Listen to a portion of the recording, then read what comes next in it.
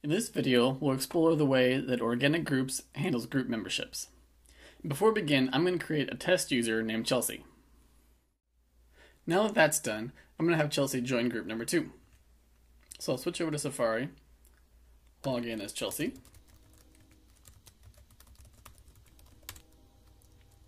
And we'll go to group number two and request group membership. Now, right now we have an option for a text box that we can enter in a request message, but I've talked with Amitai and this actually isn't currently used anywhere. It's in the works and will be used soon, but right now nobody sees this, so I'm just going to leave it blank and click join. And right away we see that the request group membership link has changed to an unsubscribe from group link. This shows that her request has been sent. While we're logged in as administrator, I'll go to group number two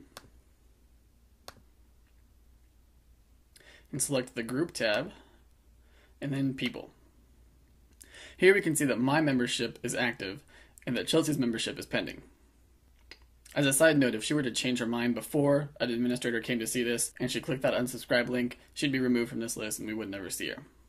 So in order to change her status, we're going to check the box next to her name, and then we have some update options. These options are approve membership of the selected users, this will do what it says, and the selected users will become members of the group. Deny membership from the selected users. This will temporarily deny membership to the user, and they must reapply if they would like to be reconsidered for membership. This will also remove a user from the group. Block membership from the selected users will permanently deny membership to the user and they cannot reapply. This is also where we will assign members to roles, uh, and I cover group roles in the video Customize Organic Groups Global Roles, as well as the video group specific roles. Let's look at each of these update options in turn. First, we'll deny Chelsea's membership. So I'll select deny and update. You notice that she's gone from the list, and if I flip back over to Safari and refresh, she once again has the request group membership link.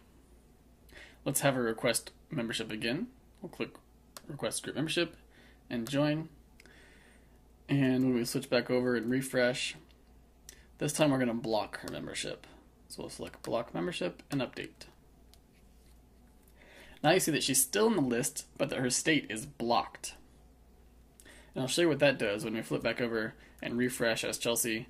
The group membership block is completely gone, and she doesn't have the option to request membership anymore.